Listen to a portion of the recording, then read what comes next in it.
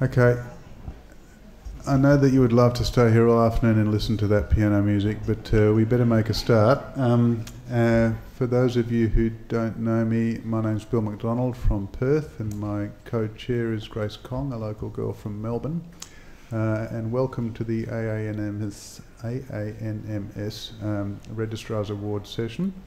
Uh, we have eight uh, presentations for you today, uh, uh, an interesting selection of uh, subjects and titles. and um, just to the speakers, um, because we're running on a fairly tight time schedule, um, we may have to pull the rug on you if you go over time so that everyone else gets their moment in the sun. Uh, so please try and keep to time. Uh, and uh, without further ado, then we'll start off with the first session, Uh, which is by uh, Shankar Vamadevan, uh, FDG PET-CT for the detection of malignant peripheral nerve sheath tumours in paediatric patients with neurofibromatosis type 1.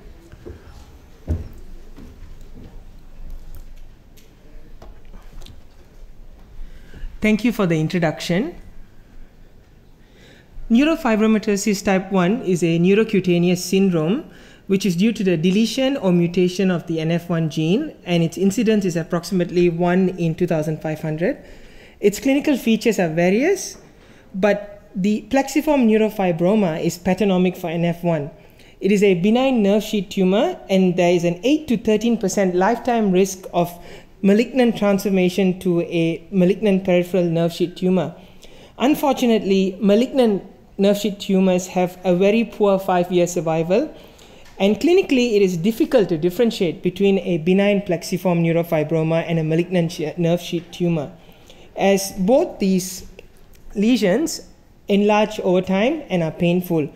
MRI is good at defining the size and extent of the lesion, but it is suboptimal in assessing malignant transformation. FDG PET CT does play a role, role in assessment. Ferner et al. analyzed 105 adult patients, of which there were 116 lesions. 29 of these were malignant nerve sheath tumors.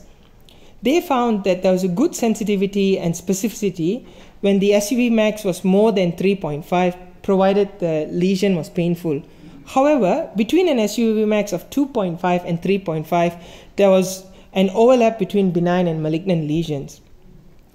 The data in children is limited, but Tsai et al. found that 20 children that had 27 lesions, in these patients, they found that a cutoff of an SUV max of more than 4.0 had a good sensitivity and reasonable specificity in assessing malignant transformation.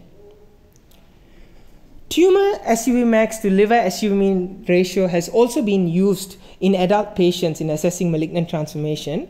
Salamon et al. analyzed 49 adults who had 18 malignant lesions, and they found a tumor to liver ratio of more than 2.6 had a good sensitivity and reasonable specificity in assessing malignant transformation. The aims of the analysis was to assess the value of multiple semi quantitative measures as well as volumetric measures in this, in this topic. We analyzed SUV max, SUV mean, which was isocontoured to a percentage of the SUV max, metabolic tumor volume, as well as lesion total glycolytic volume, as well as ratio of uh, tumor to liver SUV mean and SUV max of the tumor to SUV mean of mediastinal blood pool. This was a retrospective analysis um, between July 2006 and May 2015, and only patients that had histological confirmation of benign or malignant tumors were included. These are the details of the PET scanner used, particularly whole body imaging vertex to TORS were utilized, and the uptake time was 60 minutes. Delayed imaging was performed 4 hours post, but this analysis only focuses on the results at 60 minutes post uptake time. These are the CT parameters used. The images were analyzed on a Siemens syngo.via workstation by a single reader, myself, who had access to the clinical information of the patient as well as the formal report of the PET scan. Qualitative analysis was based on any focal increased FDG uptake above background in a soft tissue lesion. A manually placed ellipsoid volume of interest was placed over the lesion. In this uh, patient, it was a benign plexiform neurofibroma.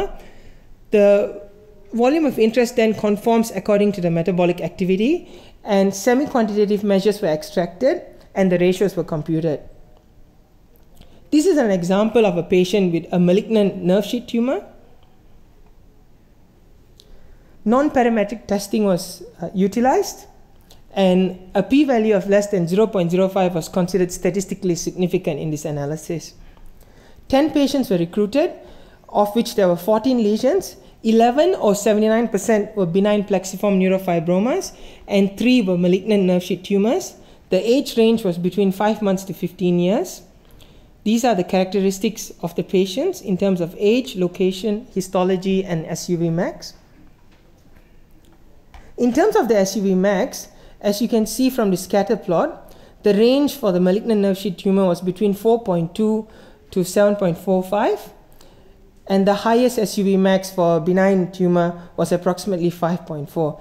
So there was some overlap between these two groups, which conforms with previous literature. We also found that the tumor to liver ratio and the tumor to mediastinal blood pool ratio was significantly higher in the malignant nerve sheath tumor group and as compared to the benign group, and it was statistically significant. SUV mean isocontoured to a percentage of SUV max was also significantly higher in the malignant group as compared to the benign group. However, volumetric measures, including metabolic tumor volume and lesion total glycolysis, was not found to be different in this group. In essence, we found SUV max to be helpful. However, there was an overlap between the two groups. The ratios of tumor to liver and tumor to mediastinal blood pool were also found to be helpful in assessing malignant transformation. However, volumetric measures, including met metabolic tumor volume, which is an assessment of the volume of the lesion as opposed to the SUV max, which assesses only the hottest pixel in the lesion. And lesion total glycolysis, which is a product of the SUV mean and the metabolic tumor volume, which gives a representation of the tumor burden. In these two volumetric measures, in this analysis, we did not find it to be helpful. The limitations of this study include the small sample size. We only had three patients that had a malignant tumor. The imaging tool that we used, um, despite being good, was not comprehensive enough in certain cases to include the whole lesion, given the geographic distribution of the lesion in certain patients. And it was a retrospective analysis uh, based from a single center. In terms of future directions, we would like to analyze further the value of delayed imaging as has been seen in the literature. Here is an example of a six year old girl with a left proximal forearm lesion with an SUVMAX of 3.4 60 minutes post administration. And on delayed imaging at four hours, it had increased to 5.46. These are the references used. Um, and that's the end. Thank you.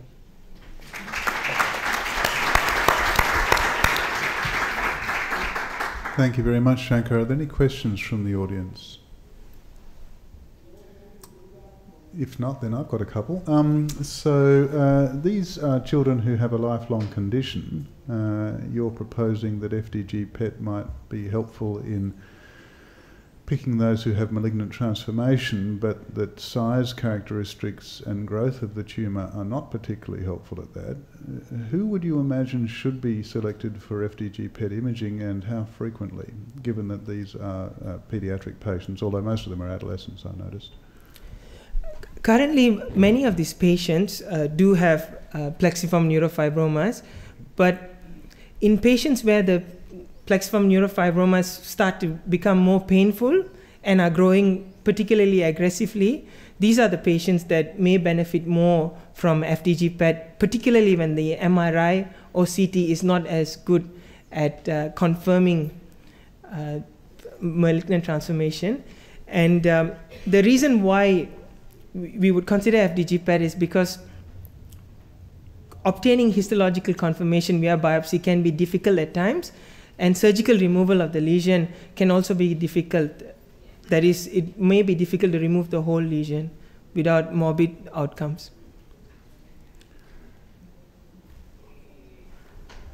Paul.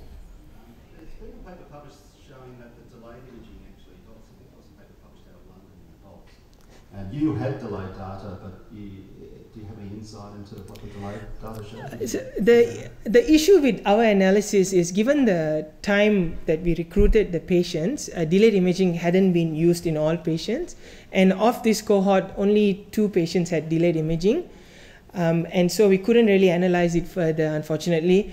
But um, that paper by Bobby et al. was quite helpful. Yes. Okay, if there are no further questions, thank you very much for your presentation, Shankar. Thank you.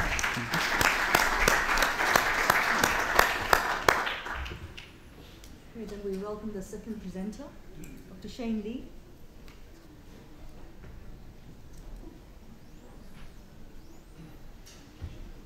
Welcome Shane onto the stage, and uh, he will be presenting his work on evaluation of clinical risk factors which may predict regional, nodal, and metastatic disease on gallium PSMA PET CT.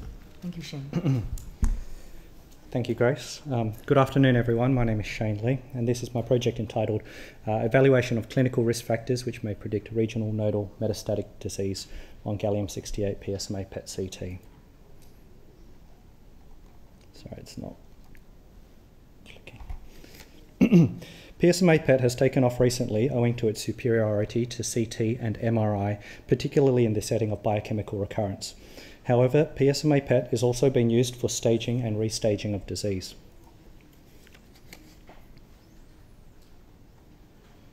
Sorry, the clicker's not working very well. there have been studies which compare uh, PSA and previous treatments with overall positivity of PSMA PET, but were not specific for location of disease. Other studies have compared PSA and Gleason score with site specific disease, however, did not investigate previous treatments as a predictor. We did not find any data investigating previous treatments as a predictor for location specific disease. Our aim was to identify clinical risk factors that may predict positivity of PSMA scan, PSMA avid local disease, nodal disease, and metastatic disease with clinical parameters such as PSA, PSA doubling time, PSA velocity, Gleason score, radical prostatectomy, radiotherapy, chemotherapy, and androgen deprivation therapy. We collected data from all the clinical PSMA scans available to date and um, retrieved patient data from the hospital electronic medical records. Statistical analysis was performed using Stata 13.1. We identified 177 patients or scans. Uh, 155 were restaging scans and 22 were staging scans. We analysed them separately due to expected differences between patient population and disease profile. First, we'll discuss, discuss the uh, restaging scans, of which 62% were positive. We performed a univariate followed by a multivariate logistic regression analysis for overall positivity of the scan and found that only PSA correlated significantly with a positive scan. For chemotherapy, all four patients who had chemotherapy had a positive scan, um, and so despite having a perfect prediction, we felt that the, uh, the small group size made the uh, results um, unlikely to be significant. Post estimate predictions of our multivariate logistic regression analysis demonstrated there was a 44% detection rate at very low PSA levels, climbing to about 100% at 35 micrograms per litre. There was, an there was a linear relationship between PSA of 0 and 10, with a 3.5% increase in probability for every increase in microgram per litre of PSA. Absence of prostatectomy was the only association for PSMA avid local disease, the negative coefficient translating to the absence of prostatectomy being the predictor. Post estimation, post estimation predictions demonstrated 50% probability of local disease in the absence of prostatectomy versus 10% probability with prostatectomy. For nodal disease, PSA and Gleason score were the only statistically significant associations. Increased PSA and higher Gleason scores were associated with increased probability of PSMA avid nodal disease. For metastatic disease, PSA, Gleason score, radiotherapy, and the absence of androgen deprivation therapy were associated with PSMA avid metastatic disease. The probability of metastatic disease increased with PSA and a high Gleason score. Radiotherapy and the absence of androgen deprivation therapy had increased probability of identifying PSMA avid metastatic disease. We sub-analysed PSA doubling time and velocity given they were significant confounding factors for PSA in the multivariate analysis. However, no statistically significant results were identified. In the 22 patients who had the staging scan, neither PSA or Gleason score predicted scan positivity, local disease, nodal disease, or metastatic disease. We have independently demonstrated that a higher PSA level predicts a positive PSMA scan. There was a 44% probability of positive scan at very low PSA levels, which is in keeping with a meta analysis performed by Perera. However, our gradient of probability was much less dramatic than the meta analysis. We account for this by heterogeneity of our patient groups, of which um, many of had restaging scans for known metastatic disease and had very high PSA levels. This may have stretched our predictions over a larger PSA range. Our data is not specific for a single indication, but more likely reflects uh, experiences of an everyday clinical workload. Prior radiotherapy was associated with increased probability of detecting metastatic disease. This was clearly not a causative relationship, but more likely due to patient selection. Patients who received radiotherapy may have had more advanced cancer um, than their counterparts, or may have received radiotherapy as first line management. We showed that the absence of androgen deprivation therapy was associated with increased probability of metastatic disease. However, this contradicts studies which have demonstrated that ADT was associated with a positive PSMA scan. Studies have shown that PSMA is upregulated with short term ADT therapy, but downregulated with long term ADT therapy. Our classification of ADT did not specify if ADT was current or previous or past, uh, nor was the duration of treatment recorded.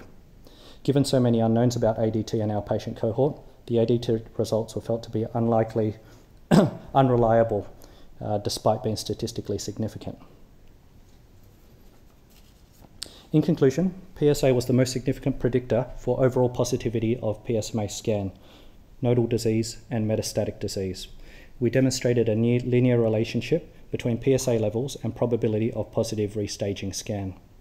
We found that a higher Gleason score was associated with nodal and metastatic disease, and finally, amongst all the therapies that we analysed against location specific disease, we have demonstrated that the absence of prostatectomy was predictive of local disease, and radiotherapy was a statistically significant independent predictor of PSMA avid metastatic disease. Thank you.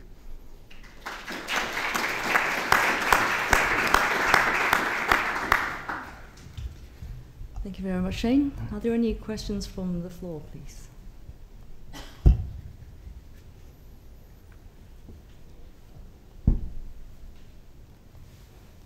No questions? All clear?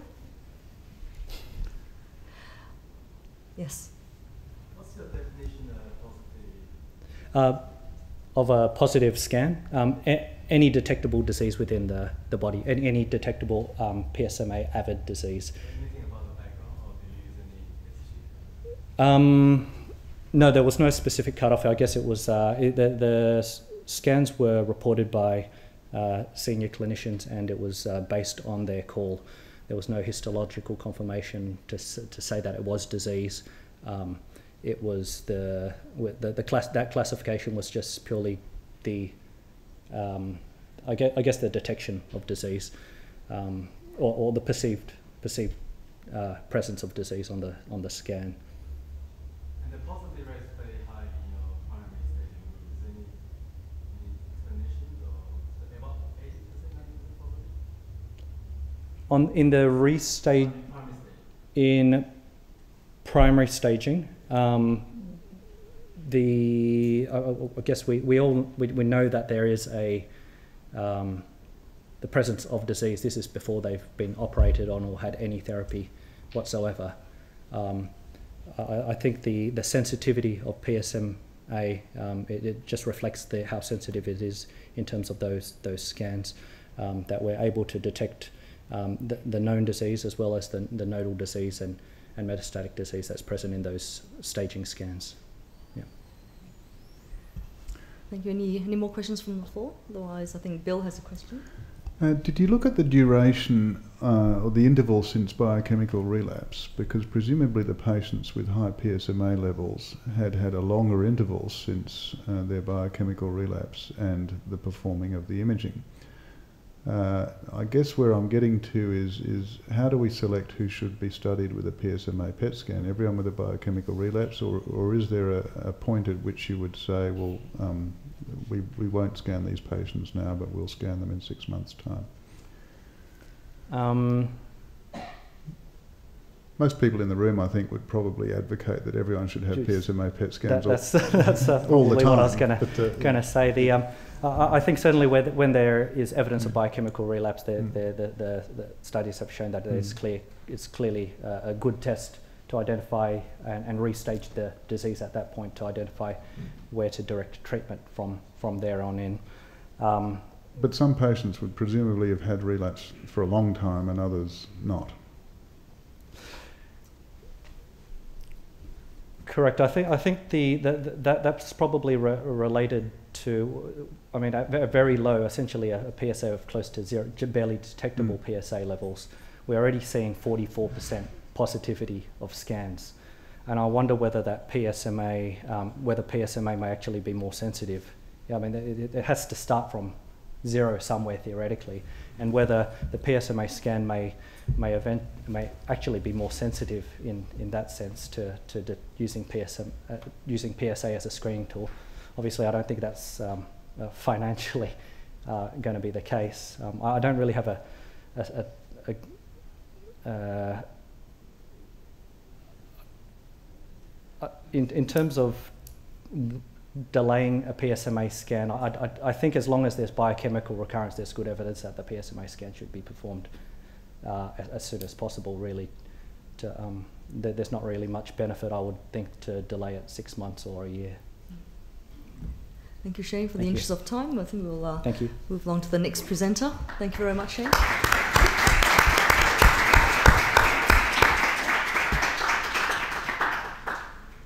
Okay, the next uh, presenter is uh, Dr. Chris Fesser, and he's going to be presenting an audit of unfunded studies in a new positron emission tomography CT facility.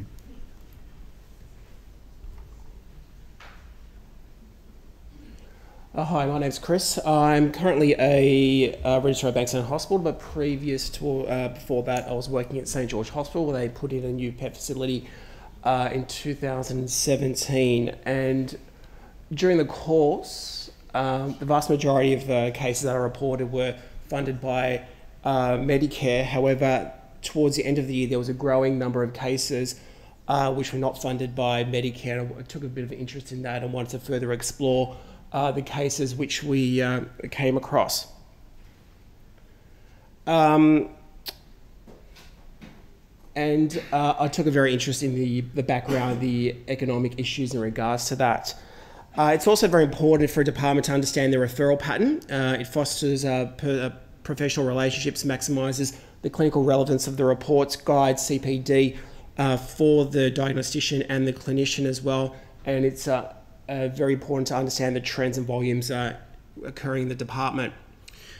Um, and took a very big interest in the economic issue in regards to PET and also uh, whether these unfunded studies did make a difference to the patient themselves. Uh, what I did was a retrospective uh, audit looking at the monthly billings and I recorded the unfunded PET studies. Um, I characterised them in terms of their clinical question, the underlying pathology, and the number of previous PET studies. And I also reviewed the uh, previous reports and imaging. I looked at uh, three private uh, local facilities in the St George area to collate the previous reports, and they were reported by my, uh, they were reviewed by myself. So, in regards to the clinical question, uh, the vast majority were um, the clinical question was assessment of treatment response, followed by equivocal radiology, staging, uh, worsening clinical symptoms, uh, raising clinical raising tumor markers, and query malignancy. And this is a graph just illustrating those results. In regards to pathology, the uh, most common pathologies were breast cancer, followed by pancreatic cancer and hepatobiliary. And these were uh, result in graft form. In regards to previous PETs, so the vast majority had not had a previous PET study, and 15 cases did have a uh, previous uh, PET, and only one or two had uh, two or greater. It's a graph form. Uh, now, what I then did was I removed the cases that were uh, query were equivocal radiology cases, and then I subcategorized the remaining findings into whether they had additional findings, were stable, or had improved findings when compared to the previous uh, radiology. And the majority of the cases actually had additional findings, which were clinically, which were deemed relevant. I'll just go through a few quick examples, and it comes up very well. Um, oh, this shows uh, an adrenal lesion, three centimeters involving the left adrenal. The CT and MRI reports were equivocal, whereas this did not show significant FDG uptake and uh, was most likely and was reported as benign. Uh, this is a further example. The clinical history was the there was thickening of the gallbladder, uh, query malignant process on the CT. On the PET imaging, this shows that there's no uh, thickening of the gallbladder wall and no FDG uptake and was reported as normal. A case uh, illustrating additional findings.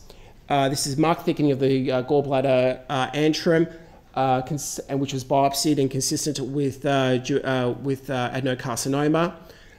three months later, the PET, PET was performed showing local disease, but also um, liver disease, supraclavicular lymphadenopathy, and also paraaortic lymphadenopathy. Uh, another case uh, within a nine, nine month period, patient had a, a Whipple's procedure for a, a, pancreatic adenocarcinoma, which was removed. Six, uh, nine months later, there was a recurrence at the site uh, demonstrating FDG uptake, and this was uh, subsequently biopsied and proven to be recurrence of the um, pancreatic adenocarcinoma. CT scan uh, CT scan in a patient with memory loss and expressive dysphasia.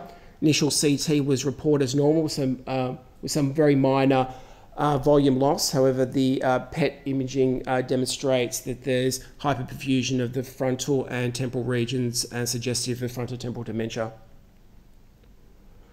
Discussion points I wanted to wanted to raise is there's growing evidence in um, research in in patients in um, conditions where it's currently unfunded with Medicare. Uh, and also, this may uh, impact uh, patient uh, patient management and also patient um, response to treatment. Um, a classic example of that is St George uh, Hospital. There's a, a, neuroendocrine department which they currently use uh, the PET FDG studies to see if there's any dedifferentiation in the tumours, um, and this is then altered management uh, discussion, other discussion points I wanted to raise is having multiple uh, imaging can also increase the risk of patient stress and also increase the risk, risk of detecting incidentalomas. Um, and also that PET CT has been actually used quite judiciously given the fact that um, the vast majority of patients had not had previous PET imaging. Um, limitations, uh, being a retrospective uh, study, um, the key finding, um, the, it was clinical utility has not been established given that uh, my study was looking at additional findings as opposed to whether this actually made a significant, significant difference to the patient's management. Uh, and also, it's very difficult to compare what uh, the findings in PET compared with previous imaging, given that the scans were done at different time points. And there's my references. Thank you.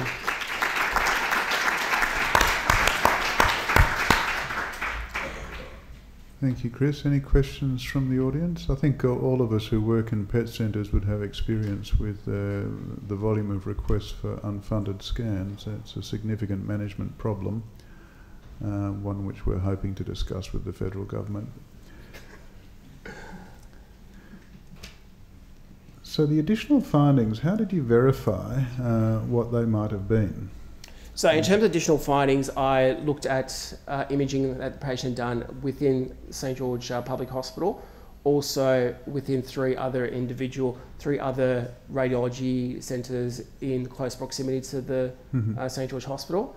I reviewed all the imaging and also the imaging of the current scan as well, and seen whether there was um, findings which uh, were in addition of the uh, current PET uh, compared with prior MRIs or prior PET studies. Do you have any follow-up studies to prove that those lesions are truly positive or truly negative?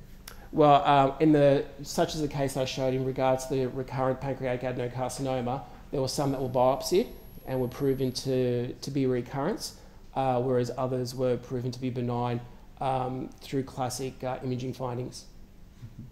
But but some might not have been biopsied. So did, That's right. Did you do you have any data on, on what happened to these No, patients with additional findings? That would have been very nice to actually have input from the clinicians in regards to following up on the patients and clearly verifying that these were additional findings um, and with biopsy uh, confirmation.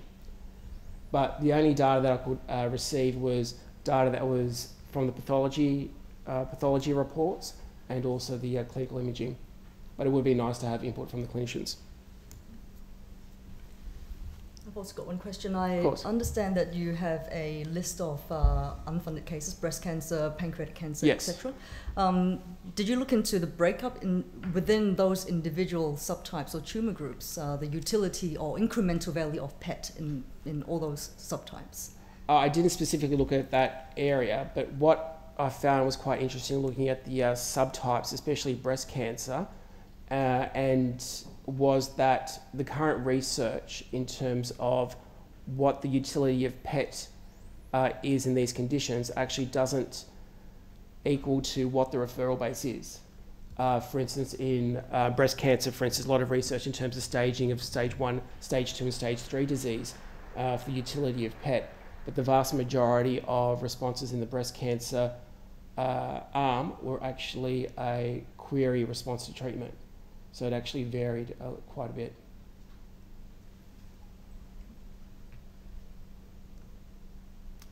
Peter. Um, you mentioned some of the indications are backed up by evidence in the literature. So Yes. Did you, did you have any sort of, did you speak to your referrals about what do you think in terms of level of evidence? You know, strong, medium, or you know, is it Uh, that would it would have been really nice to actually get input, as I said, um, to get input from the clinicians in regards to that. Uh, given a retrospective order, it was quite uh, difficult to do that. Um, but if you review the literature behind, for instance, the breast cancer, uh, it sometimes uh, doesn't collate with the uh, recent, with evidence-based, um, what's happening in the literature and what's actually happening on a clinician diagnostician level. So it can be a little bit different. And the other growth area for us is treatment monitoring and predictive biomarker. Did you look at the kind of breakdown? Um, I, I didn't in regards to that was, but one of the uh, key referral questions was uh, rising uh, clinical uh, tumour markers. So I found that one of the reasons why the clinicians would be referring the cases was because of increasing tumour markers.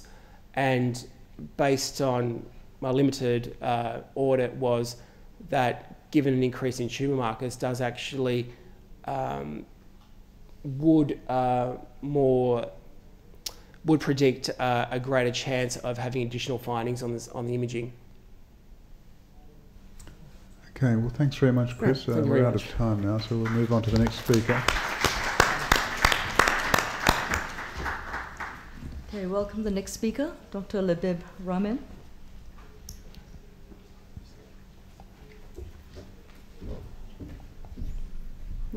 I think Labib is oh. presenting next. Or do you want to go first? You're, t- you're too keen. You're next. Okay, Labib is going to present to us a high accuracy of negative gallium PSMA PET CT in excluding local lymph node metastases in, in, in intermediate to high risk primary prostate cancer, a single center experience with histopathologic confirmation.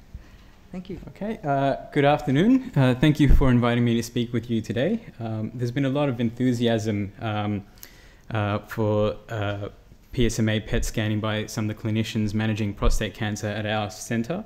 and uh, and no doubt with an unusually high number of people in this building as well.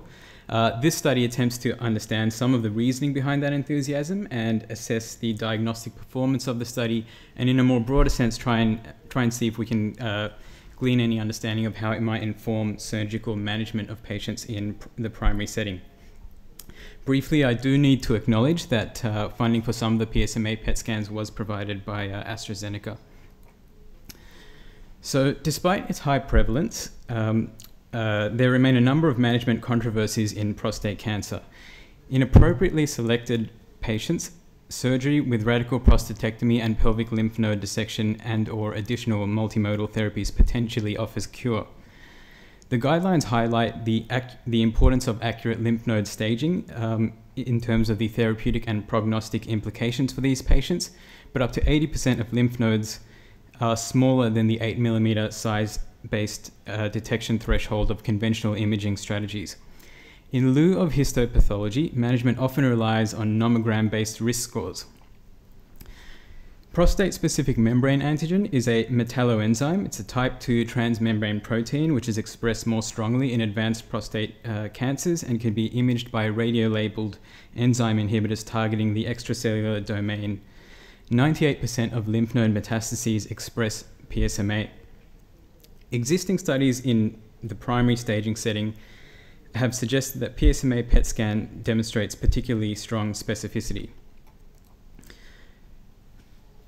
Within the cohort of, of uh, intermediate to high risk primary prostate cancers, our aim was to determine the diagnostic efficacy of PSMA PET scanning in pelvic lymph node staging, and more broadly to understand how the scan may inform decisions uh, when it comes to offering surgery.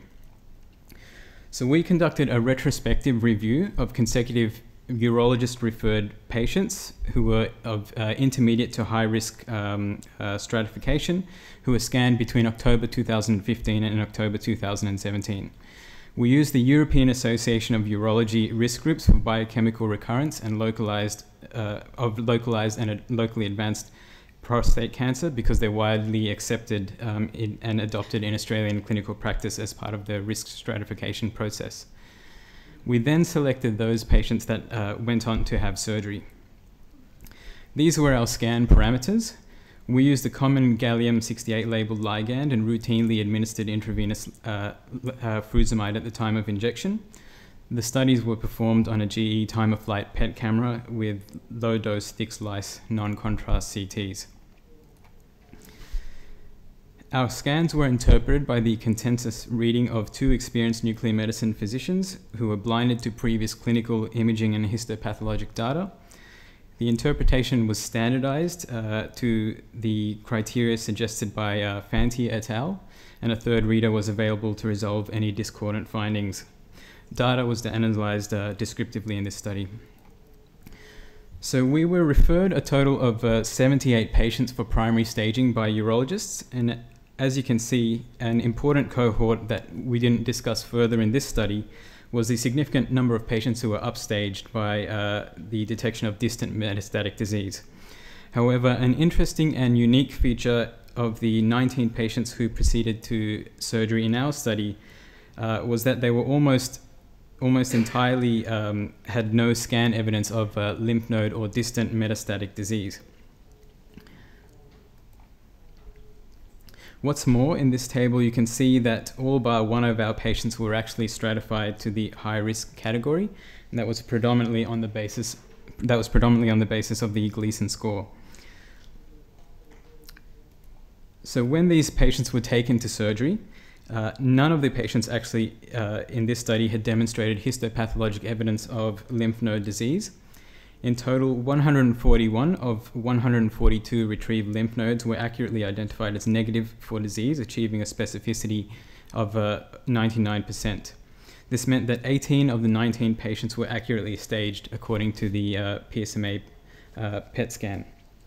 Taken as a whole, our findings would suggest that within this cohort of patients who would conventionally be stratified as high risk, a negative PSMA PET scan appeared to further subselect a group that was less likely to have lymph node involvement and therefore may be more amenable to surgery.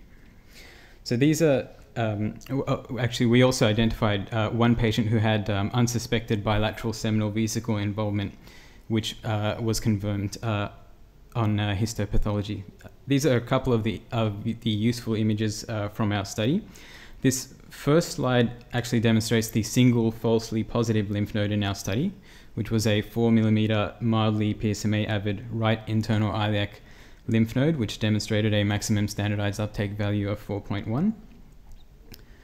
The, uh, this second image is um, the, uh, demonstrates a patient who had unsuspected bilateral seminal vesicle involvement, um, which can be an important factor when it comes to surgical planning and decision making.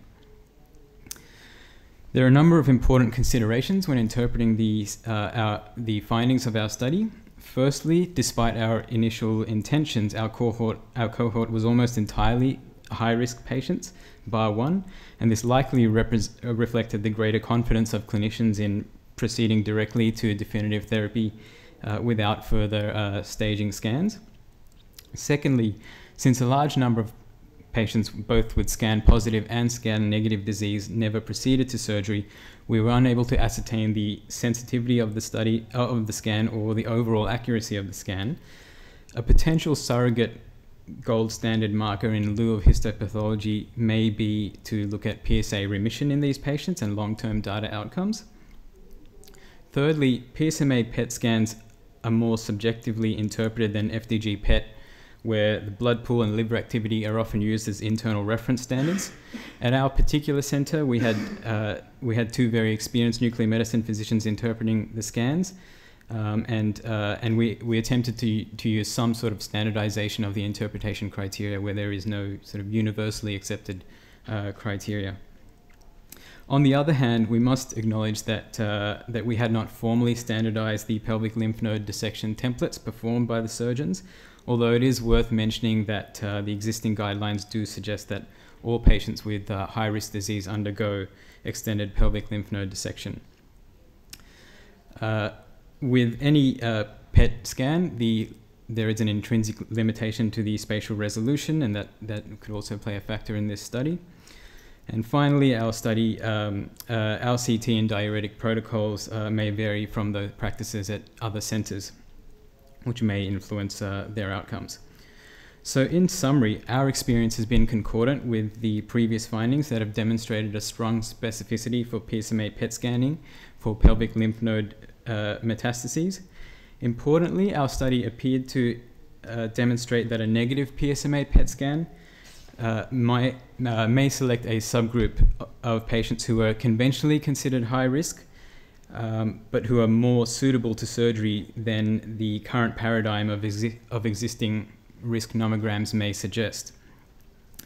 Um, given that the uh, literature sort of estimates that high risk patients would have an incidence of between 15 to 40 percent of uh, uh, of uh, pelvic lymph node involvement, we sort of we felt that there was a signal that uh, we may be able to use PSMA PET scans to uh, better select um, some of these patients, and this and in the future we may see uh, some of this reflected in um, in guidelines.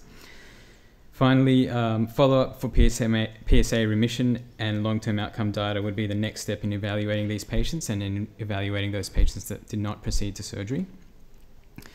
Uh, I would also like to acknowledge the assistance of our data manager, Dr. Ken Lai.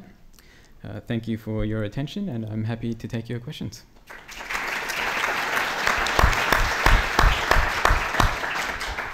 Thank you for the presentation. Any questions, please?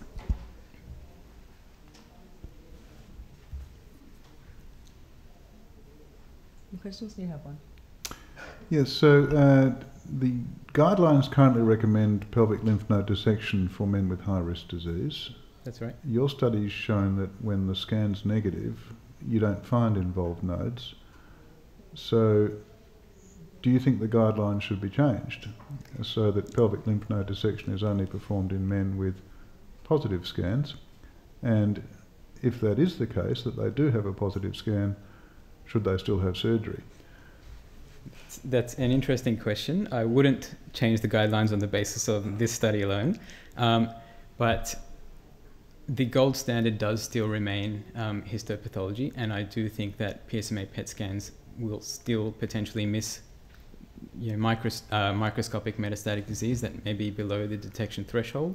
So, although our experience was very positive, I would be very cautious about saying that on that basis you should then say that no patients, you know, high risk patients should not uh, should not uh, undergo extended pelvic lymph node dissection. But certainly, as I said, it, I think that beyond the existing risk nomograms, this this does help. But this may help subselect a group that may benefit from. Uh, uh, that may be candidates for surgery or may be more amenable to surgery where the initial decision may have been to err on the side of alternative therapies.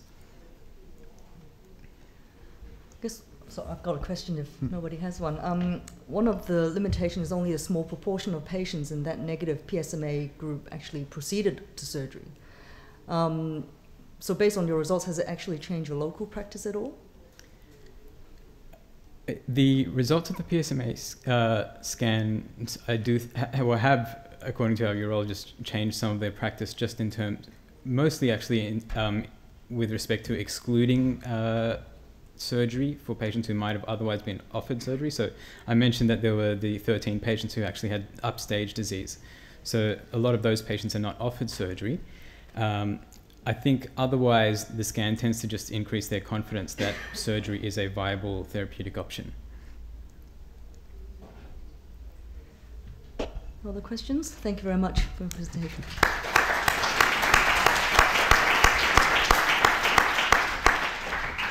Now it's the turn of Dr. Robert Kaur, uh, and uh, he's going to be talking about the non-invasive assessment of acute graft versus host disease of the GI tract following allogeneic hemopoietic stem cell transplantation using FDG PET. Great, great. Thanks, Phil. Uh, I'm here. Almost sold out crowd. I like it. Um, okay. So, uh, acute graft versus host disease uh, is a very common and serious condition following stem cell transplant. Um, as you may know, it's a condition where the donor lymphocytes attack the host cells, and it affects the skin and the gastrointestinal tract most commonly, uh, but also the liver.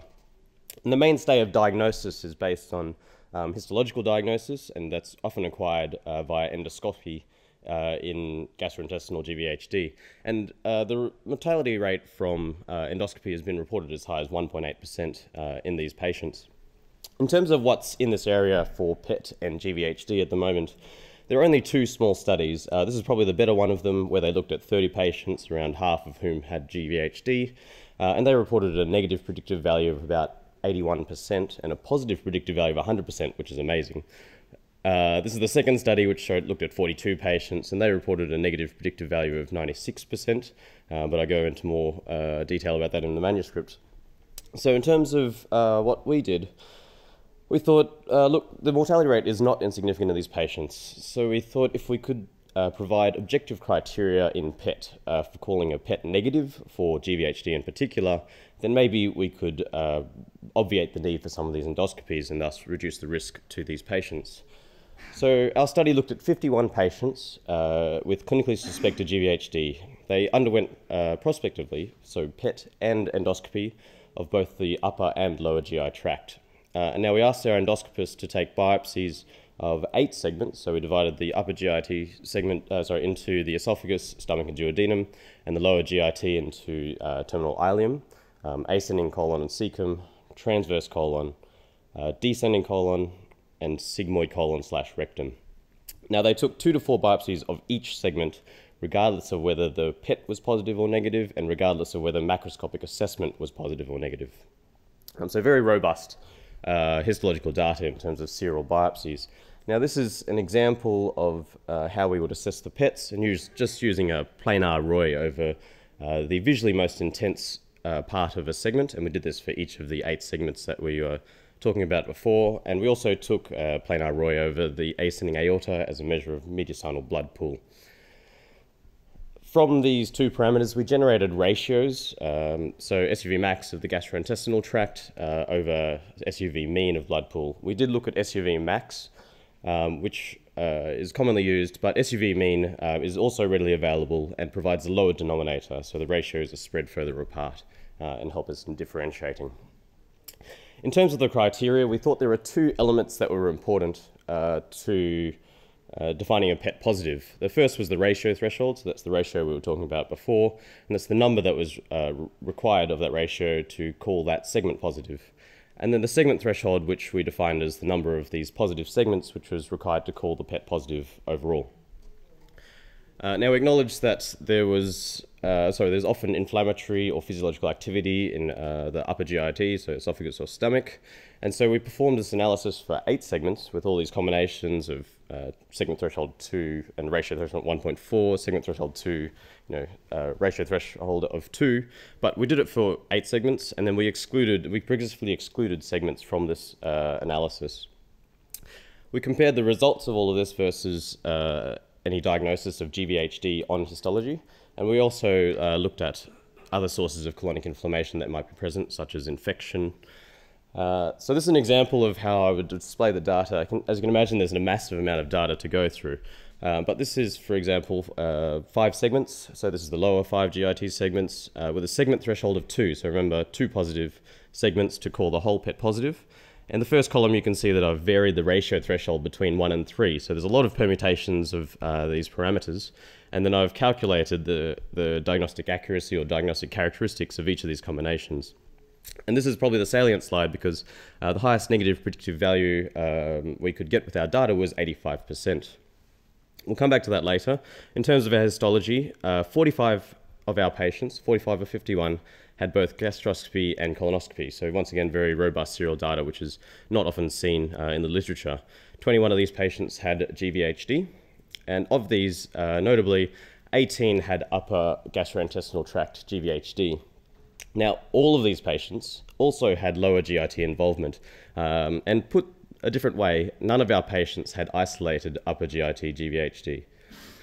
Uh, so very interesting incidental finding on our result uh, on our study. Uh, now this is just the criteria again. So only looking at the five lower segments with ideal criteria, uh, ratio segment, oh, sorry, ratio threshold of two of, of apologize, ratio threshold of 1.4 and a segment threshold of two. And these are the results we were able to achieve uh, with those criteria, and most notably a negative predictive value of 95%, uh, albeit a, a bit of cost of specificity there.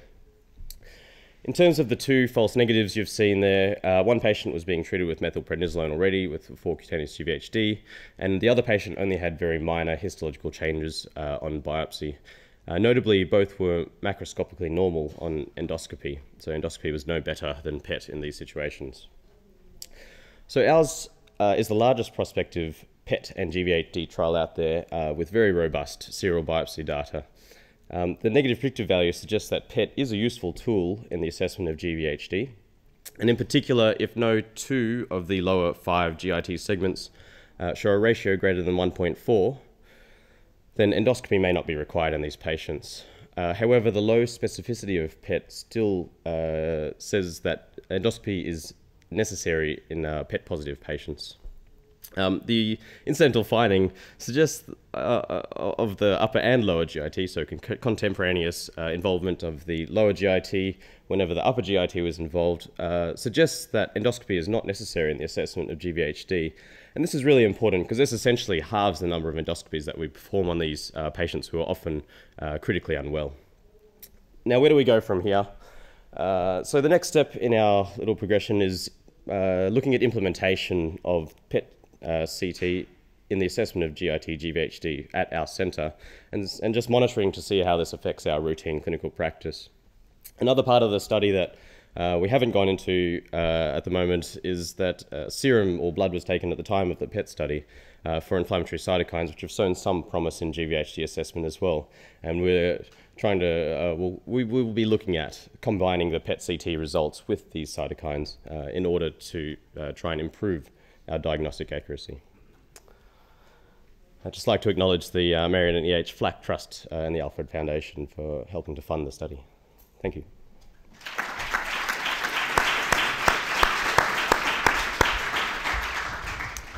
Okay, thanks very much, Robert. Uh, any questions from the audience? Paul. Oh, this is a really interesting paper. Thanks very much for presenting that. Thanks. Um, our haematologists always struggle with graft versus host disease, and I guess one of the dilemmas they have is that if you've got graft versus host disease, you have to increase the immunosuppression, but if you've got an infective cause, you, you obviously don't want to do that. So they're kind of opposite therapeutic approaches. Yes. Um, you also acquired information on infection and CMV. Did you look at that data as well to see if you might, you know, if different in infective causes graft versus host disease? Uh, look, I think that's uh, very difficult to tell because, as we know, in, any inflammatory disorder will uh, cause SUV to come up. Um, I think the value of PET is in the negative predictive value because if it's positive, we can't tell what it is, and they all they always need to go to biopsy or endoscopy. Um, so we've focused on the negative predictive value. Um, we did look at whether the uh, segments were higher um, FDG uptake in inflammatory causes or um, uh, or GVHD compared to non-GVHD segments, but we haven't exactly looked at the uh, uh, sorry the GVHD segments versus any other biopsy segments. So sorry, other any other diagnosis.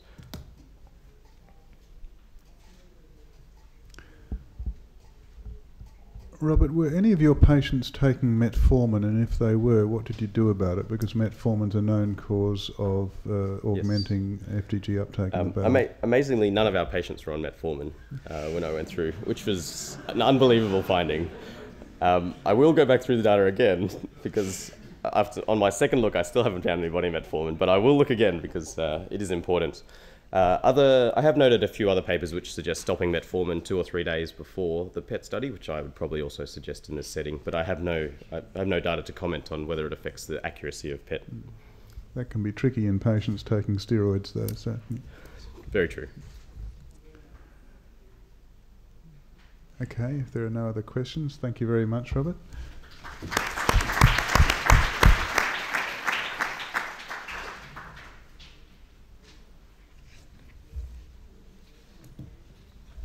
Okay, our next presenter, Dr. Natakorn Diandrovin.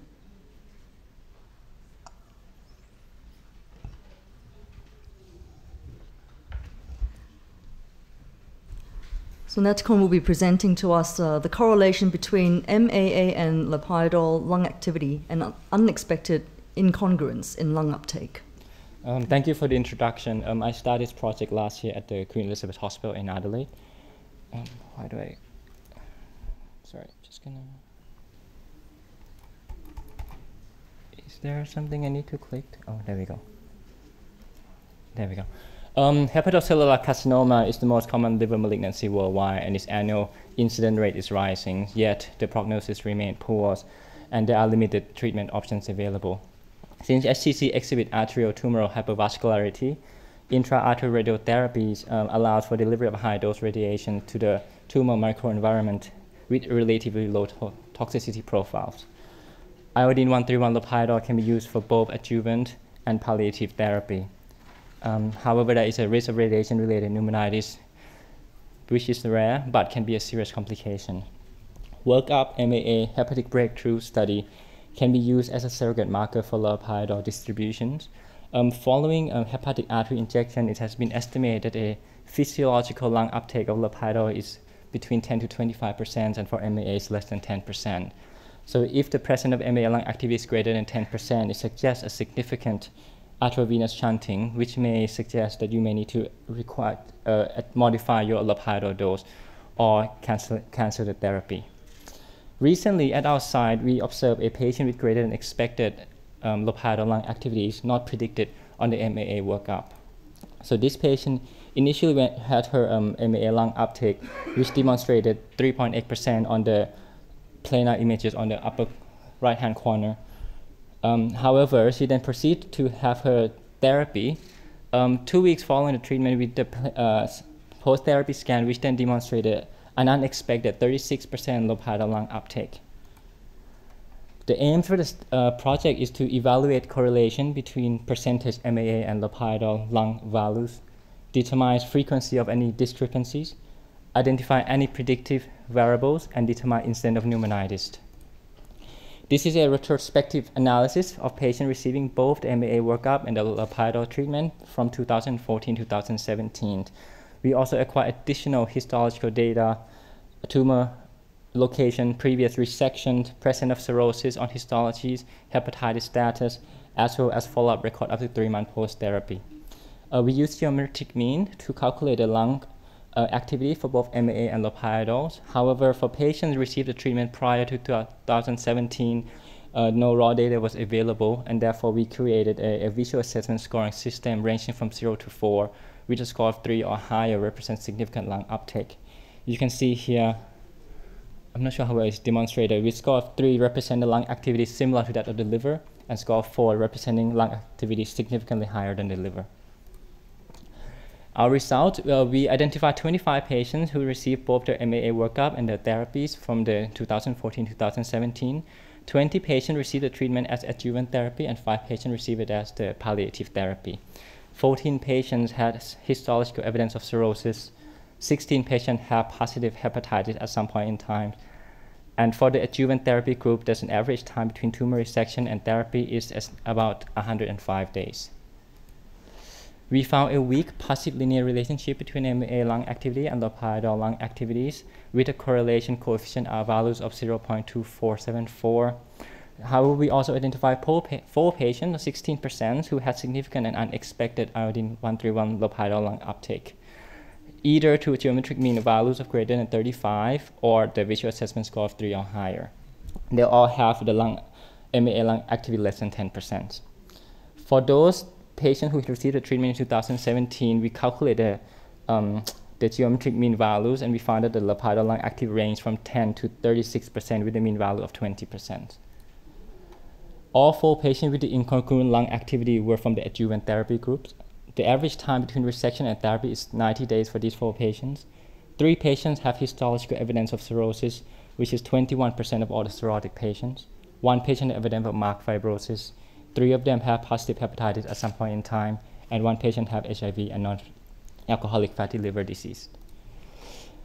However, none of the four patients uh, developed a radiation-related pneumonitis, and we also like to mention that we did not observe any discrepancy in lung activity in the palliative therapy group. Uh, we did not identify any definite variable predictive of the MAA and Lipiodol lung activity discrepancies, However, we observe a greater proportion of discrepancy lung activity among cirrhotic patients, up to 21%, but our numbers are too small to conclude any definite association. Um, although incomplete, the data on the tumor size and location did not appear to demonstrate correlation with lung activity discrepancies. While we do not have um, tumor vascularity measurement, we did not identify any discrepancy in our palliative therapy group.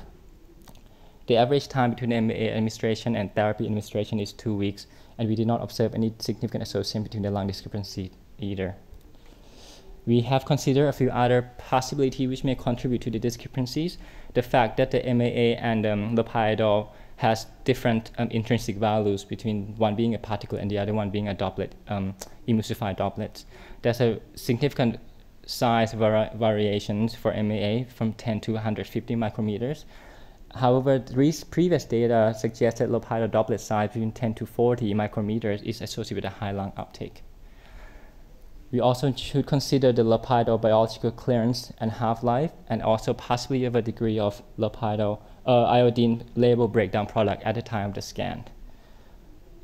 We also consider using low-dose Lipiodol as a workup study, and we have done in the past at our center. However, that on some occasions, if the patient was not eligible for the treatment, we end up having to waste the dose. So for this method, um, logistic and financial feasibility may be an issue. Um, while we did not observe any cases with a radiation-related pneumonitis, it is uncertain what is the theoretical dose for internal radiation to the lung to predict possible pneumonitis. Previous data have suggested following a standard dose of 2.2 gigabecquerel administrations, then estimate of 16% of Lipiodol lung activities or 3 grade um, lung dose.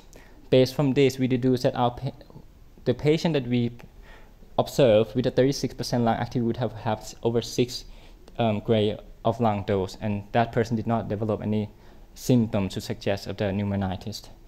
The possible mechanism would include the direct radiation toxicities as well as immune-mediated process, as we know that the risk of a pneumonitis does increase with the number of exposures. We also consider the risk of administering subtherapeutic hepatic dose in patients with discordant um, lung uptake. In conclusion, in most cases, workup um, MAA study offer a reliable pre-therapy assessment prior to iodine 131 Lipiodol treatment in both adjuvant and palliative groups. There's a weak linear positive relationship between um, the MAA and Lipiodol activities.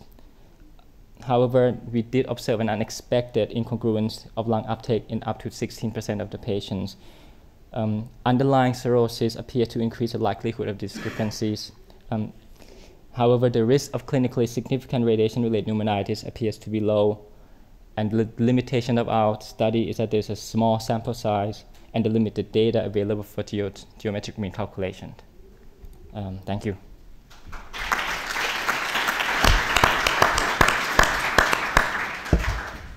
Thank you very much. uh, any questions, please? Can I start? How did you follow those four patients up? Did they have regular CT scans, or is it just via clinical assessment? Is it imaging? And how long did you follow these patients up for? Uh, well, our follow-up data are quite limited, um, but we try to follow them up to up to three months um, post therapy, and we access their medical records. But for the particular patient we found, that started the project that we did um, schedule her back for a follow up um, visit.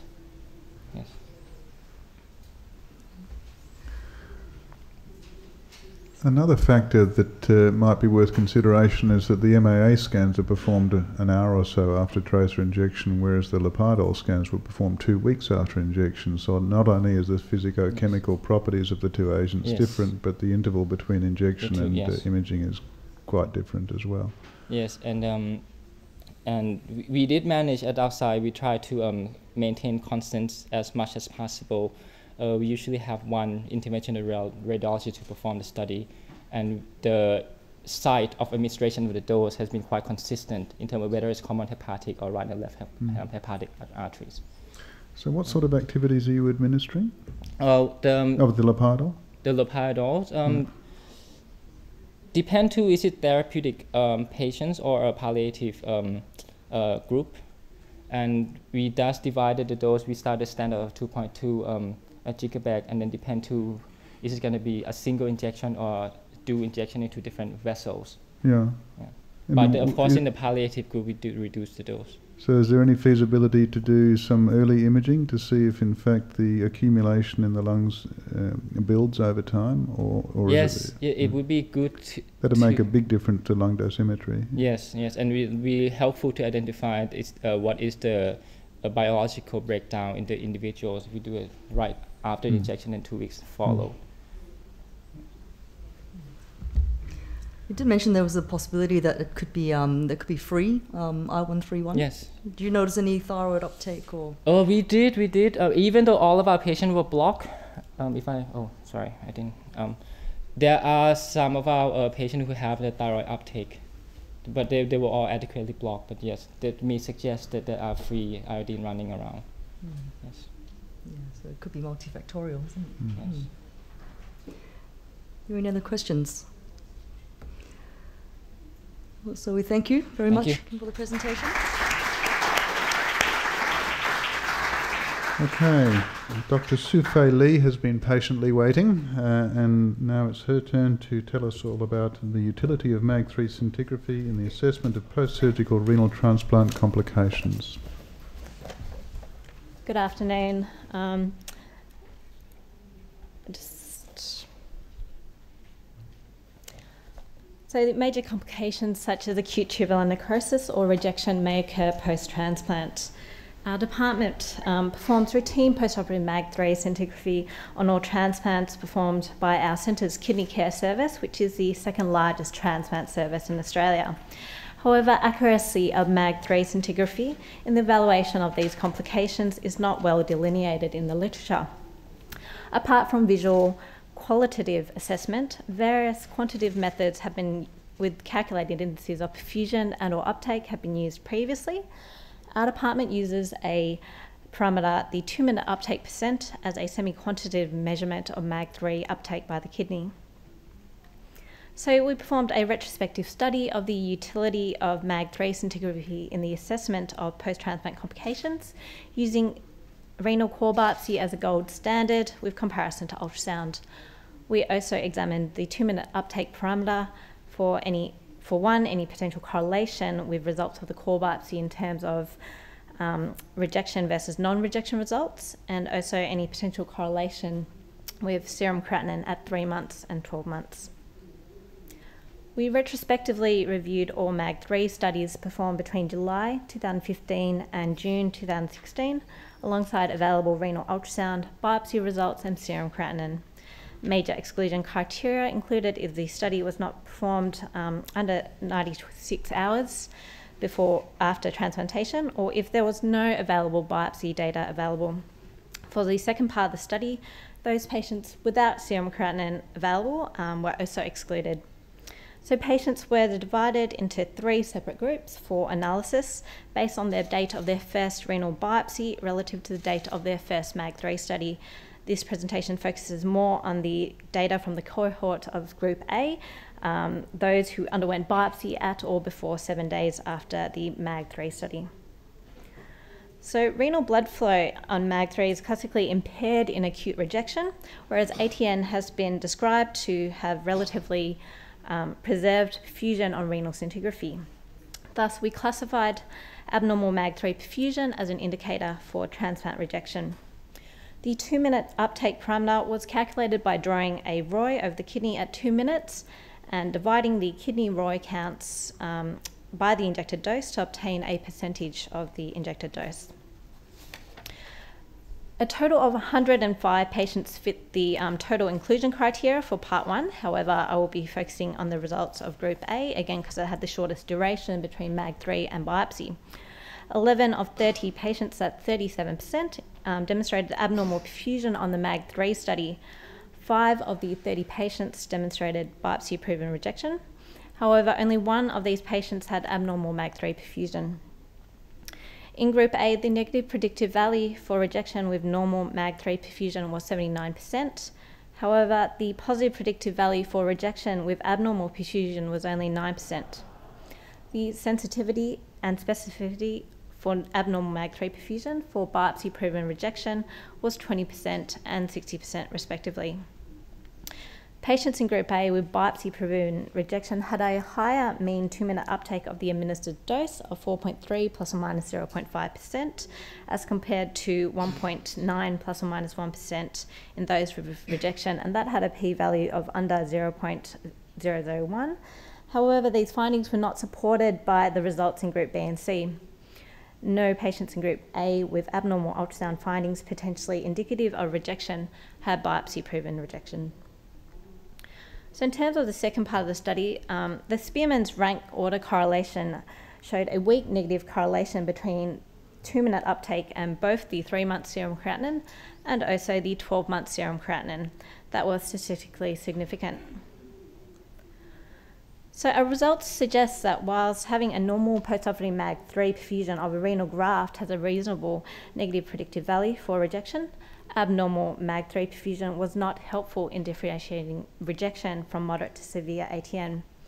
The low specificity in our study is likely related to that severe ATN can also result in diminished perfusion, with early postoperative inflammation or edema potentially causing a compartment effect. The low sensitivity in comparison to past older studies is likely to be related to that the incidence of acute rejection has approximately halved in the last decade due to better cross-match strategies and therapeutic um, immunosuppressive therapies. Whilst acute antibody related um, mediated rejection, which happens days to week after transplant, still remains a major cause of graft loss, it is not surprising that early postoperative MAG3 on day 0 to 3 is unable to preemptively predict this type of rejection, which has not yet had time to develop. The majority of our cohort also only underwent a single MAG3 study, and thus the utility of interval changes was unable to be assessed. In terms of the two minute uptake, our findings showed that the value itself was not of use in terms of better differentiating rejection from ATN. Interestingly, however, the two minute uptake was seen to have a weak negative correlation with the three month and the 12 month serum creatinine. Thus, the higher the two minute uptake calculated, the lower the serum creatinine levels or better the renal function. Limitations of this study include the inherent weaknesses of any retrospective single centre study. Moreover, only a relatively small proportion of our patients underwent core biopsy within seven days, which makes it difficult to assess the true predictive value of scintigraphy using the biopsy findings as the gold standard. Other limitations include that some of the biopsies showed mixed findings of both ATN and rejection, and there's also the possibility of sampling error. Furthermore, each subject's final diagnosis was based purely on the biopsy pathology rather than the clinical diagnosis. So, in conclusion, whilst normal MAG3 um, perfusion has a reasonable negative predictive value for rejection, abnormal MAG3 perfusion was unhelpful in differentiating um, rejection from moderate to severe ATN. The two minute uptake parameter showed no additional benefit in the identification of rejection, but it appeared to have a weak negative correlation with the three month and 12 month serum creatinine, and thus this may have a role in the prediction of longer term graft function. And thank you.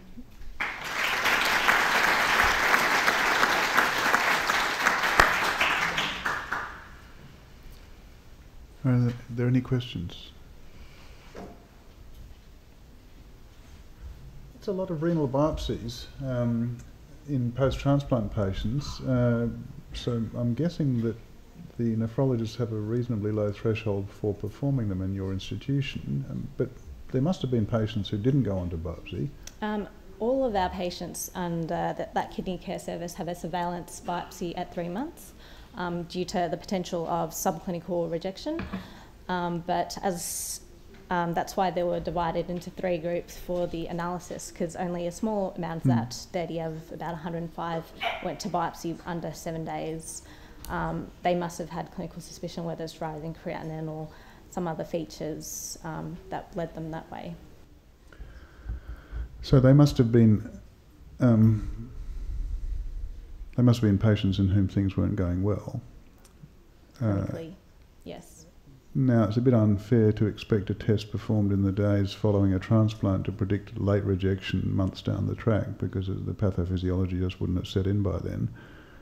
Uh, so, if we go back to the early phase studies, um, the ones who did have acute rejection, uh, it seems like the MAG3 scans weren't, I mean, were they more helpful than just monitoring the creatinine? Sorry, the. So if, if, if, if you once you you're checking the creatinine and doing a biopsy in the patients who have un, unsatisfactory creatinine pathways or trajectories, uh, does the MAG3 scan add anything to that?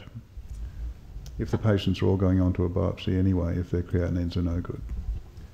Um, I think it does help in a sense um, in terms of the amount of perfusion and gives an idea whether things I think it's more helpful if it's normal. Um, and again, it helps them as a supportive factor. Um, whereas if it's clearly, no, maybe the other way. If it's clearly um, abnormal, then perhaps they're going to hinge more in that direction. I don't think it's a single defining factor by itself. I think they'd use it in combination with all the other features um, to help them in their decision making and treatment. Princess Alexandra in Brisbane, we are the sole transplant centre for the state of Queensland, so we transplant about 100 to 120 kidneys a year. And we're now only doing MAG3s in the ones that are not performing well post transplant. So creatinine probably has some uh, benefit in tracking the function. But we've seen this more in the DCD donor patients, mm. and our transplant physicians uh, fairly aggressive at biopsying those, and there really is quite a, a, difference in the pathologies detected, and a lot of times it is simply severe ATN, but the, the initial perfusion is significantly down on, on what it should have been in the start. And now they're tending to biopsy the ones that are not behaving in pairs. So if Yeah. they know where the second kidney went and it's working, then they biopsy the one that's not. Yeah, that's interesting. Um, I guess one one of the one of the other findings is that it may not help them so much, um, I guess, in the direct postoperative period. But what we found is that it may actually have an indication of how they might go further on, and that was supported by other a few other findings, um, uh, studies in the literature. That how the baseline postoperative scintigraphy may also reflect how the kidney goes. In one study, um, they used different parameters, but up to five years in the future. Um, so in that regard, it still may provide them um, pro- um, prognostic information. Okay, thank you very much.